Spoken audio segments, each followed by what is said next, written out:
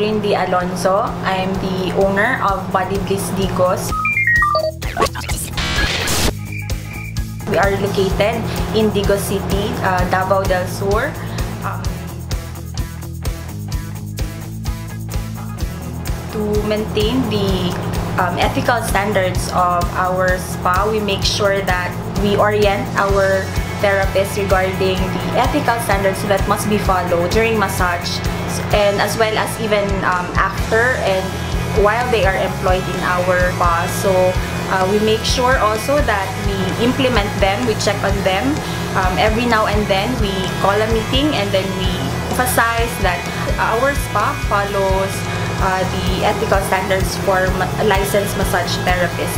And as an advice to all these spa operators and as well as the licensed massage therapists, you can follow what we do, we um, the implementation and the the orientation and as well as the timely um, follow-ups on the on, of our ethical standards.